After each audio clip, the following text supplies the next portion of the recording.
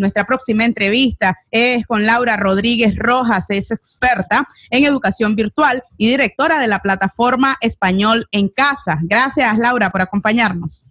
No, gracias a ti por haberme invitado y considerar que tengo algo que aportar en esta discusión que es muy urgente, en mi opinión.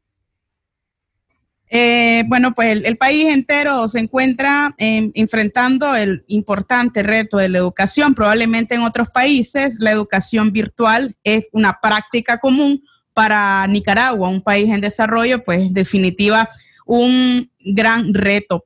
¿Ha sido útil, a tu opinión, el reforzamiento educativo del Ministerio de Educación a través de las teleclases?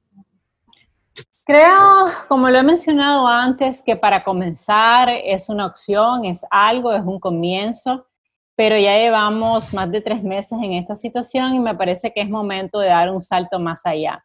¿Por qué? Porque estamos hablando sobre todo de niños, que es el, el área poblacional que más me preocupa, niños de 6, 7, 8 años, que realmente podrán estar media hora frente al televisor, una hora frente al televisor, cuando los niños tienen un periodo de atención apenas de 10 minutos, o sea, son niños, lo de jugar.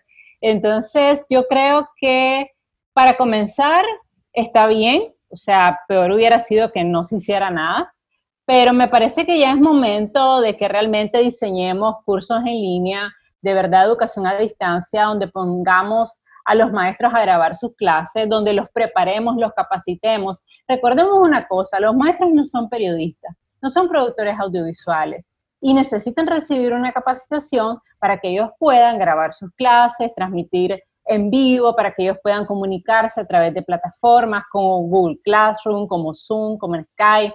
Entonces, para responder a tu pregunta, ayuda un poco, pero no es suficiente. Hay mucho más que hacer. Tras el llamado a retornar a clases presenciales el 21 de julio, ¿Qué nuevas herramientas eh, virtuales existen para desarrollar este estudio desde la casa? Muchísimas, o sea, realmente no hay necesidad que los niños y los jóvenes vayan presencialmente al aula de clases, porque actualmente nosotros tenemos un montón de herramientas. Este sería el momento, yo siempre lo he dicho, en que la conversación no debe ser si vamos a retornar o no al aula, porque no deberíamos retornar y eso se va a prolongar, en mi opinión, hasta diciembre, hasta final de año. Este año vamos a terminarlo en línea, o al menos eso es lo que dicen los epidemiólogos. Entonces, la conversación debería ser, ¿cómo vamos a virtualizar los contenidos de los maestros? ¿Qué capacitaciones le vamos a dar a los maestros? Hay maestros que no saben usar una computadora. Ha habido colegios donde se han hecho donaciones de tablets, de computadoras y los maestros no las saben usar porque no basta con que le entregues un teléfono, ni siquiera imagínate que le entregues una cámara. ¿Puede un maestro usar una cámara? ¿Sabe cómo grabar? ¿Sabe cómo editar? ¿Sabe cómo diseñar un modelo de cursos en línea que incluya, que se conecte con sus alumnos, que use Zoom, que use Skype, como te decía, Google Classroom, que haya toma de contacto? Porque lo que estamos viendo es que los maestros envían las actividades por correo electrónico. Y a mí me horroriza, me espanta, me aterra, me preocupa que cómo es posible que un niño de 7, 8 años, hasta de 10 años, reciba un correo electrónico que le mandan al papá, el papá se lo da al niño y dice, en la página 20 lee la definición, contesta los ejercicios en la página 21 y 22 y luego envía tus conclusiones para ser calificado. Eso es cualquier cosa menos educación en línea. Y el problema es que nos estamos jugando, y no lo dudo, el futuro de la humanidad. Los futuros médicos, maestros, periodistas, ingenieros, ¿cómo van a salir formados? Ahora, lo vivo en carne propia con mi hija de 8 años. Acá se ha reducido la educación virtual a una guía por WhatsApp. Las pobres maestras toman fotos del, del texto, del libro de texto, y algunas pues logran enviar algunos links. Podemos decir que esto es un reto para, es decir, ¿cuánto nos puede tomar como país poder encaminarnos en la educación virtual? Máximo cuando nos estamos dando cuenta que hay rebrotes en otros países. Es decir, no sería nada raro que de pronto tengamos un rebrote cuando los chavalos regresen a las clases.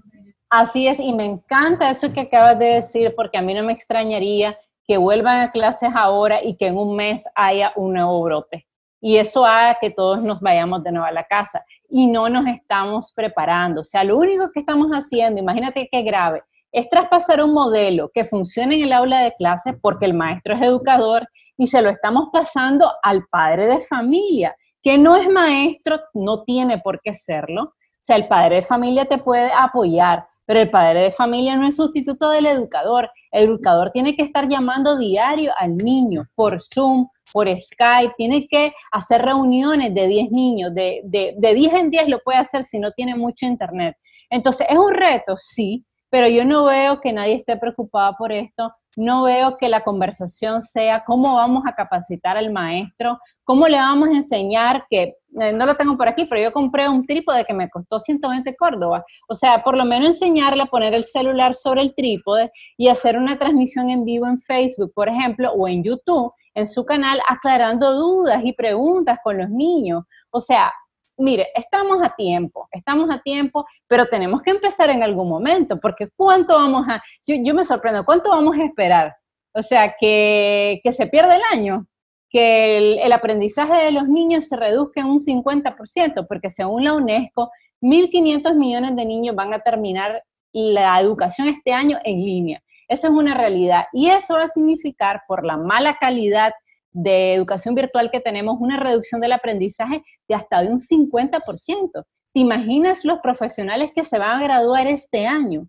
¿Cómo va a salir ese médico a atender pacientes? ¿Te imaginas los bachilleres que están en quinto año y el año que viene van a tener que ir a la universidad? No van a estar preparados. Entonces, claro que estamos a tiempo, hay mucho que podemos hacer y no le pedimos Hollywood. O sea, yo siempre digo, en mi canal, a veces la gente que lo ve me dice, pero claro, tú, no eres, periodista. yo le digo, bueno, ¿y por qué los maestros no presionan a los directores de los colegios para que hagan alianzas con periodistas? Habemos millones de periodistas que nos dedicamos a ser youtuber y nos gusta el tema de la educación. Yo sería una. O sea, yo estaría dispuesta a poner mis equipos a la orden y mi experiencia como youtuber. Te voy a comentar algo, le he escrito a miles de colegios. Ni uno solo me ha contestado el día de hoy. Entonces, yo creo que es que no hay visión y hay una fuerte resistencia al cambio y una gran irresponsabilidad del sistema público y privado, de los dos, honestamente. Muchísimas gracias, Laura, por tus planteamientos acá y sobre todo también pues por la franqueza con la que nos hablas acá en Libre Expresión. Esperamos, esperamos poder contar con intervenciones futuras. Creo que este tema es para hablar una hora, dos, un día entero, los retos que definitivamente tenemos planteados. Te agradecemos por haber estado acá con nosotras. No, todo lo contrario, ha sido un placer y siempre que pueda aportar en algo en esta conversación desde mi experiencia como periodista y como maestra, porque yo soy una combinación extraña, ¿no? Estudié las dos carreras. Entonces, eh, pues encantada de poder aportar en todo lo que, en lo que pueda, siempre.